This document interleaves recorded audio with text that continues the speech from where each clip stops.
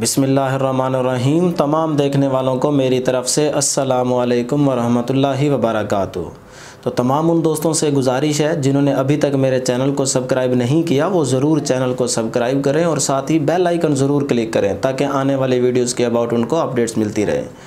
और स्टूडेंट्स से मैं ये कहना चाहूँगा कि वीडियो लास्ट तक ज़रूर देखें, क्योंकि हम हर वीडियो में आपके लिए पाँच से छः इम्पोर्टेंट पॉइंट्स लेके आते हैं, जो कि आपके ऑब्जेक्टिव के पॉइंट ऑफ़ व्यू से बहुत इंपॉर्टेंट होते हैं।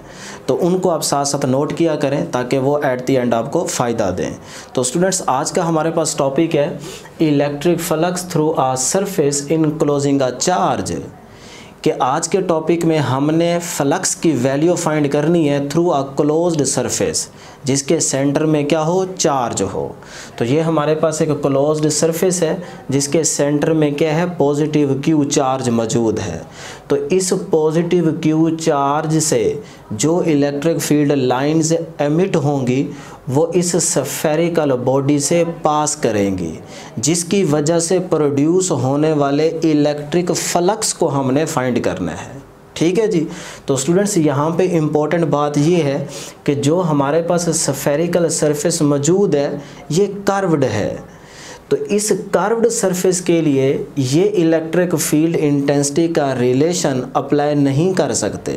तो इसीलिए सबसे पहला काम हमें ये करना है कि इस सफेरिकल सरफेस को हमने फ्लैट सरफेस में कन्वर्ट करना है। तो हम इस सफेरिकल सरफेस को इस तरह छोटे छोटे स्मॉल पैचेस में फ्लैट सरफेस में कन्वर्ट कर देंगे। तो यहाँ पे हमने एक को कंसीडर किया है। इसी तरह हम यहाँ पे भी इस तरह के स्मॉल पैचेज बनाएँगे। तो यहाँ पे हम एक को कंसीडर करके फ्लक्स की वैल्यू फाइंड कर सकते हैं। तो ये बिल्कुल उसी तरह जैसे आपके पास एक फुटबॉल के स्मॉल पैचेस बनाए होते हैं। तो उसी तरह से हमने इस क्लोज्ड सरफेस के भी स्मॉल पैचेस बना देने हैं। तो इस तरह ये हमारे पास क्लोज सरफेस इस तरह की फ्लैट सरफेस में कन्वर्ट हो जाएगी। तो इस फ्लैट सरफेस के लिए हमारे पास ये रिलेशन अप्लाई हो सकता है। तो तब हम इलेक्ट्रिक फ्लक्स को ईजीली फाइंड कर सकते हैं। तो वही काम हम यहाँ पे करते हैं कि ये हमारे पास एक फ्लैट सरफेस है, जिसका वेक्टर एरिया अगर मैं फाइंड करना चाहूँ तो उसकी डायरेक्शन क्या होगी? Perpendicular to the plane. तो मेरे पास इस फ्लैट सरफेस का जो वेक्टर एरिया होगा, उसकी डायरेक्शन क्या होगी? ये आपकी तरफ़ होगी। तो मैं यहाँ पे चूँकि एक लाइन ड्रा नहीं कर सकता, इसीलिए इसको मैं अपवर्ड डायरेक्शन में शो करूँगा। तो ये हमारे पास इस फ्लैट सरफेस के वेक्टर एरिया की डायरेक्शन है। तो इसी तरह इस चार्ज से प्रोड्यूस होने वाला इलेक्ट्रिक फ़ील्ड जो है, वो इस सरफेस में से परपेंडिकुलरली पास करेगा, जिसकी वजह से फ्लक्स होगा। तो यहाँ पे आप देख सकते हैं कि इस चार्ज से प्रोड्यूस होने वाला इलेक्ट्रिक फ़ील्ड जो है, वो परपेंडिकुलरली पास कर रहा है। तो इसका मतलब उसकी भी डायरेक्शन क्या होगी? एरिया के पैरेलल होगी। तो ये हमारे पास इलेक्ट्रिक फ़ील्ड की डायरेक्शन होगी। तो इस तरह हमने देखा कि ए और ई e की जो डायरेक्शन है, वो एक जैसी है। तो इनका आपस में क्या रिलेशन है? पैरेलल ठीक है जी? तो पैरेलल में एंगल क्या होता है? ज़ीरो तो इस तरह जितने भी हमारे पास यहाँ पे स्मॉल पैचेस होंगे, उन सब के लिए हमारे पास एरिया और फ़ील्ड की डायरेक्शन आपस में एक जैसी होगी। तो हर एक के लिए एंगल क्या होगा? ज़ीरो होगा। तो ये बात आपने याद रखनी है। तो अब स्टूडेंट्स मैं इस एरिया को अगर लिखना चाहूँ इन मैग्नीट्यूड तो वो मेरे पास क्या होगी? Delta A one delta A two पहले इंटरवल के लिए, फिर दूसरे के लिए, फिर तीसरे के लिए and so on delta A ठीक है जी? तो अब हमारे पास अगर इसी एरियाज़ को मैं वेक्टर एरियाज़ की फॉर्म में लिखना चाहूँ तो फिर क्या रिलेशन होगा? डेल्टा ए वन ऊपर आप एरो यूज़ करेंगे delta A two delta A three and so on delta A N तो इस तरह हमने एरियाज़ को उनकी वेक्टर फॉर्म में लिख दिया। अब हमारे पास electric intensity at the centre of the vector areas तो अगर हमारे पास ये वेक्टर एरियाज़ है तो यहाँ पे जो इलेक्ट्रिक फ़ील्ड इंटेंसिटी होगी, वो क्या होगी? E one E two and E three and so on E N ठीक हो गया जी। तो now the total flux passing through the closed surface अब हम क्लोज सरफेस के अलोंग जो हमारा फ्लक्स होगा टोटल उसको हम इजीली फाइंड कर सकते हैं। तो कैसे करेंगे जी टोटल फ्लक्स को फाइंड तो हम यहाँ पे लिखते हैं total electric flux is equal to phi one plus phi two plus phi three plus phi sorry plus phi three plus and so on plus phi N मतलब जितने भी हमारे पास यहाँ पे स्मॉल पैचेस होंगे, उन सारों के फ्लक्स को हमने क्या कर देना है? ऐड कर देना है।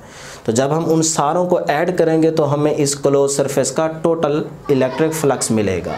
तो वही हमने यहाँ पे इक्वेशन यूज़ की है। तो अब हम इसको आगे लेके चलते हैं। Electric flux is equal to इस फ्लक्स फाइव वन की जगह हम E one dot delta A one लिख सकते हैं। क्यों? क्योंकि हमारे पास इलेक्ट्रिक फ्लक्स का क्या फार्मूला है जी? ई डॉट ए तो अगर वो फ़र्स्ट केस है तो हम वन वन लिखेंगे। अगर सेकेंड की बात करेंगे तो टू लिखेंगे। अगर थर्ड वाले की बात करेंगे तो फिर थ्री आ जाएगा।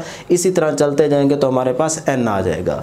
तो वही काम हमने किया। फाइव वन की जगह लिखा। E one dot delta A one plus phi two की जगह लिखा E two delta A E dot delta A two plus इसी तरह हम फाइव थ्री की जगह लिखेंगे and so on phi N की जगह लिखेंगे E N dot delta A N. तो ये हमारे पास इक्वेशन बन गई टू। ठीक हो गया जी। अब स्टूडेंट्स हम जानते हैं कि इलेक्ट्रिक फ्लक्स अगर ई डॉट ए के बराबर है तो अगर ई e और ए की डायरेक्शन एक जैसी हो, दोनों पैरेलल हों तो फिर एंगल क्या होगा? ज़ीरो तो हम लिख सकते हैं ई डॉट ए को ई ए कोस थीटा और थीटा कितना है जी? ज़ीरो तो कोस ज़ीरो की वैल्यू क्या हो जाएगी? वन तो वन को ई e ए से मल्टीप्लाई करेंगे आंसर क्या आएगा? ई e ए तो इस तरह हमारे पास इलेक्ट्रिक फ्लक्स क्या आता है? मैक्सिमम आता है। कब? जब हमारे पास एंगल ई e और वैक्टर एरिया के बिटवीन कितना हो? ज़ीरो तो इस तरह से हमारे पास फ्लक्स आता है। तो अब इसके अलॉन्ग हमारे पास क्या एंगल होगा? ज़ीरो इधर भी एंगल क्या होगा? ज़ीरो इधर भी एंगल क्या होगा? ज़ीरो सारों के लिए हमारे पास एंगल क्या होगा? Theta is equal to zero तो इसका मतलब को ज़ीरो की वैल्यू वन होती जाएगी। तो इसी इक्वेशन टू को मैं लिख सकता हूँ यहाँ पे। देखें, इसका कोस थीटा थीटा की जगह ज़ीरो तो को ज़ीरो वन हो गया। तो पीछे क्या रह जाएगा? ई e की मैग्नीट्यूड और डेल्टा ए वन तो वही हमारे पास यहाँ पे बाकी है। E one delta A one यहाँ से हमें क्या मिलेगा? E two dot delta A two को ख़त्म करें। E two delta A two cos theta theta की जगह ज़ीरो को ज़ीरो वन तो इसका मतलब यहाँ से हमें मिलेगा E two delta A two plus चलते जाएँ तो हमें एंड पे हमारे पास जो एन वाली टर्म है, वो क्या होगी? E N delta A N तो ये हमारे पास थर्ड इक्वेशन बन गई। अब due to spherical symmetry of the surface क्योंकि हमारे पास एक सफेरिकल सिमिट्री है तो इस तरह की अगर सफेरिकल सरफेस हो तो उसके हर पॉइंट पे जो इस चार्ज की वजह से फ़ील्ड होगा, वो एक जैसा होगा। तो यहाँ पे आप देख सकते हैं, अगर इस पॉइंट की हम बात करें तो यहाँ फ़ील्ड ई e वन होगा। अगर यहाँ की बात करें तो ई e टू होगा, जो कि ई e वन के बराबर होगा। इसी तरह जो इस पॉइंट पे होगा, वो ई थ्री होगा, जो कि ई टू और ई वन के बराबर होगा। तो किसी भी पॉइंट पे अगर आप देखेंगे तो आपके पास जो फ़ील्ड होगा वो एक जैसा होगा। तो इसीलिए मैं यहाँ पे लिख सकता हूँ E one is equal to E two E two is equal to E three E three is equal to E अब अगर ये E one E two E three सारे ई e के बराबर है मतलब फ़ील्ड सेम है तो वो फ़ील्ड हमारे पास किसके इक्वल होता है? One over four pi epsilon naught Q over R square ठीक है जी? तो अब हम इक्वेशन थ्री को लिख सकते हैं। Now equation three becomes electric flux electric flux is equal to is equal to इस ई e वन की जगह मैंने यहाँ पे क्या लिख दिया? ई e लिख दिया। क्यों? क्योंकि ई e वन बराबर है इस ई के। तो इसीलिए इस ई वन की जगह ई आ जाएगा। आगे डेल्टा ए वन वैसे का वैसे। प्लस ये वाला प्लस ई e टू की जगह मैं क्या लिख सकता हूँ? ई टू भी बराबर है ई के तो यहाँ पे ई लिख दिया। आगे क्या है? डेल्टा ए टू तो वो डेल्टा ए टू वैसे का वैसे आ जाएगा। इसी तरह चलते जाएँ तो लास्ट हमारे पास क्या है? एन तो एन भी किसके इक्वल होगा? ई के इक्वल होगा। तो यहाँ पे लिख देंगे ई और आगे डेल्टा ए वन वैसे का वैसे आ जाएगा। तो अब इस इक्वेशन में अगर हम गौर से देखें तो ई क्या है? सारों में एक जैसा। तो हम ई को कॉमन ले लेंगे, अंदर क्या रहेगा? Delta A one plus delta A two plus and so on plus delta A N तो इस तरह हमारे पास ई वैसे का वैसे, और ये हमारे पास क्या है? Total total spherical surface area मतलब हमने जो स्मॉल पैचेस बनाए थे, उन सारे एरियाज़ को अगर हम सम करें तो हमें क्या मिलता है? टोटल सफेरिकल सरफेस का एरिया मिलता है, जो कि किसके इक्वल होता है? फोर पाई आर स्क्वेयर तो हमने इस एरिया की जगह लिखा फोर पाई आर स्क्वेयर और इस ई e की जगह हमने लिखा one over four pi epsilon naught Q over R square तो यहाँ पे अब अगर देखें तो आर स्क्र आर स्क्र से कैंसिल हो रहा है पाई पाई से कैंसिल हो रहा है, और फोर फोर से कैंसिल हो रहा है। तो पीछे हमारे पास क्या रह गया? क्यू ओवर एप्सिल नॉट तो इसका मतलब इलेक्ट्रिक फ्लक्स क्या आ गया? क्यू ओवर एप्सिल नॉट तो क्लोज्ड सरफेस का जो हमारे पास इलेक्ट्रिक फ्लक्स आया, वो क्या है? क्यू ओवर एप्सिल नॉट तो अब हम इस इलेक्ट्रिक फ्लक्स की डिपेंडेंस देखते हैं। तो स्टूडेंट्स जैसे ही हमने कहा कि क्लोज्ड सरफेस के लिए हमारे पास इलेक्ट्रिक फ्लक्स क्या है जी? क्यू ओवर एप्सिल नॉट तो अब अगर हमारे पास इस तरह की डायग्राम आ जाए कि ये हमारे पास एक क्लोज्ड सफ़ेयर सरफेस है, जिसको हमने इनक्लोज किया हुआ है जी इरेगुलर क्लोज सरफेस में। मतलब ये हमारे पास इरेगुलर क्लोज्ड सरफेस है ब्लैक वाली, जिसके अंदर हमारे पास क्या है जी? एक क्लोज्ड सफ़ेयर सरफेस मौजूद है, जिसके सेंटर पे प्लस क्यू चार्ज मौजूद है। अब इस प्लस क्यू चार्ज की वजह से जो फ़ील्ड प्रोड्यूस होगा, वो इस सफ़ेयर वाली सरफेस में से भी पास करेगा और इस इरेगुलर क्लोज सरफेस में से भी पास करेगा। तो हमने बताना है कि इस क्लोज्ड सरफेस की वजह से फ्लक्स क्या होगा और इस इरेगुलर क्लोज सरफेस की वजह से फ्लक्स क्या होगा। क्या ये दोनों का फ्लक्स एक जैसा होगा या फिर डिफरेंट होगा? तो स्टूडेंट्स याद रखिएगा फ्लक्स की डेफिनेशन हमने की थी कि the number of electric field lines passing through a certain area तो वो हमारा फ्लक्स कहलाता है। तो यहाँ पे अगर हम गौर करें तो ये सफ़ेयर सरफेस है। इसमें से जितनी number of field lines pass कर रही हैं उतनी नंबर ऑफ़ फ़ील्ड लाइंस इस इरेगुलर क्लोज सरफेस में से भी पास कर रही हैं।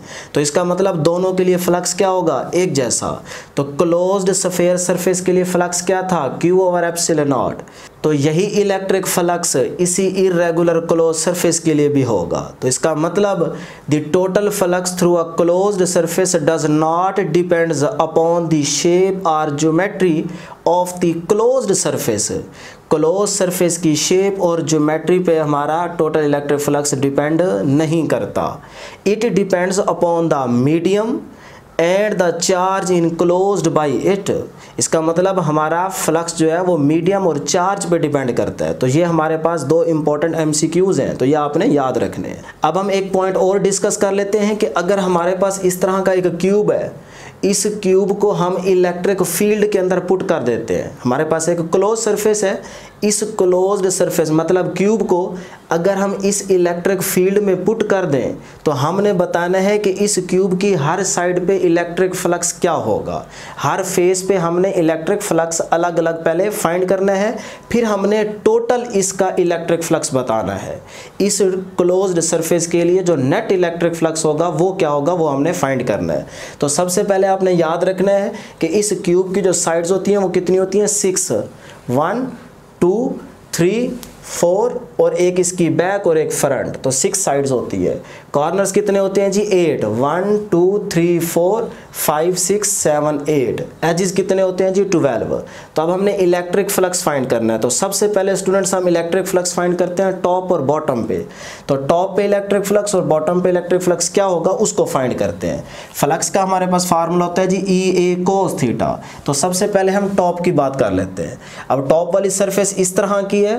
तो इलेक्ट्रिक फ़ील्ड की डायरेक्शन ये है। आप देख सकते हैं इलेक्ट्रिक फ़ील्ड की डायरेक्शन ये है। तो अगर मैं इस सरफेस का वेक्टर एरिया फाइंड करना चाहूँ तो वो क्या होता है? Perpendicular to the plane. तो इस तरह से बनेगा।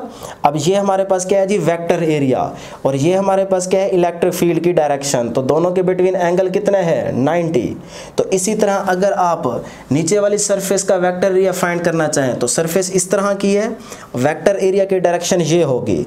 अब अगर ये वेक्टर एरिया की डायरेक्शन है तो फ़ील्ड की डायरेक्शन ये है। अब भी एंगल दोनों के बिटवीन कितने हैं जी? 90 तो इसीलिए कोज 90 क्या होता है? ज़ीरो तो हमारे पास बॉटम पे और टॉप पे जो इलेक्ट्रिक फ्लक्स होगा, वो क्या हो जाएगा जी? ज़ीरो हो जाएगा। ठीक है जी? ज़ीरो हो जाएगा। अब इसी तरह अगर हम लेफ़्ट साइड का फ्लक्स फाइंड करना चाहें तो वो किस तरह करेंगे? ये हमारे पास लेफ़्ट साइड है। तो इस फेस का अगर मैं इलेक्ट्रिक फ्लक्स फाइंड करना चाहूँ तो किस तरह से करूँगा जी? पहले इसका वेक्टर एरिया फाइंड करते हैं। ये फेस इस तरह से पड़ा हुआ है। तो इसका वेक्टर एरिया ये होगा। और फ़ील्ड की डायरेक्शन देखें, इस वेक्टर एरिया के क्या है? अपोजिट तो दोनों के बिटवीन एंगल कितना होगा? 180 तो कॉज 180 की वैल्यू क्या हो जाएगी? माइनस वन तो माइनस वन को ई ए से मल्टीप्लाई करें माइनस का ई ए आ जाएगा। ठीक है जी? इसी तरह राइट साइड का अगर हम फ्लक्स फाइंड करें तो राइट साइड का फ्लक्स कैसे फाइंड करेंगे? ये हमारे पास फेस है जी। इस तरह से। और वेक्टर एरिया फाइंड करें तो ये होगा और फ़ील्ड भी इसी डायरेक्शन में है। तो दोनों क्या है? पैरेलल पैरेलल में एंगल क्या होता है? ज़ीरो तो को ज़ीरो की वैल्यू क्या होगी? वन वन को ई e ए से मल्टीप्लाई तो आंसर क्या आएगा? ई e ए तो इसका मतलब ये हमारे पास राइट साइड का फ्लक्स होगा। अब रहेगी जी बैक साइड और फ्रंट तो अगर बैक की बात करें तो बैक वाली फेस इस तरह की होगी। तो इसका अगर वैक्टर एरिया फाइंड करेंगे तो ये होगा, इस तरह से। ठीक है जी? और फ़ील्ड की डायरेक्शन ये है तो इसका मतलब दोनों के बिटवीन एंगल क्या है? 90 तो कोज 90 ज़ीरो इसी तरह अगर फ्रंट वाले फेस की बात करें, इस तरह से जो होगा, उसका वेक्टर एरिया ये होगा, और फ़ील्ड की डायरेक्शन हमारे पास क्या होगी? ये होगी। तो अब भी दोनों के बिटवीन एंगल कितना है जी? 90 तो इसी तरह फ्रंट और बैक पे भी हमारा जो फ्लक्स होगा, वो क्या हो जाएगा? ज़ीरो हो जाएगा। तो अब अगर हम नेट फ्लक्स फाइंड करना चाहें, इस क्यूब का तो फिर वो क्या होगा? वो होगा जी हमारे पास ज़ीरो कैसे? ये भी ज़ीरो ये भी ज़ीरो ये माइनस का ई e ए इस ई e ए से क्या हो जाएगा? कैंसल तो हमारे पास नेट इलेक्ट्रिक फ्लक्स जो होगा, वो क्या आ जाएगा? ज़ीरो तो हमने देखा क्लोज्ड सरफेस को जब हमने इलेक्ट्रिक फ़ील्ड में पुट किया तो नेट इलेक्ट्रिक फ्लक्स की वैल्यू क्या आई? Zero I. अब यही चीज़ हम आगे गॉजेज लॉ में भी करेंगे। ये एक स्पेशल केस था। लेकिन क्लोज सरफेस के लिए नेट इलेक्ट्रिक फ्लक्स की भी वैल्यू होती है, ये बात हम कहाँ डिस्कस करेंगे? गौज़ लॉ में। तो इससे आगे हमारे पास गौज़ लॉ का टॉपिक आने वाला है। उसमें इंशाल्लाह हम ये भी देखेंगे कि क्लोज सरफेस के लिए भी हमारे पास इलेक्ट्रिक फ्लक्स की वैल्यू होती है। तो आज के लिए इतना ही। दुआओं में ज़रूर याद रखिएगा। अल्लाह हाफिज़।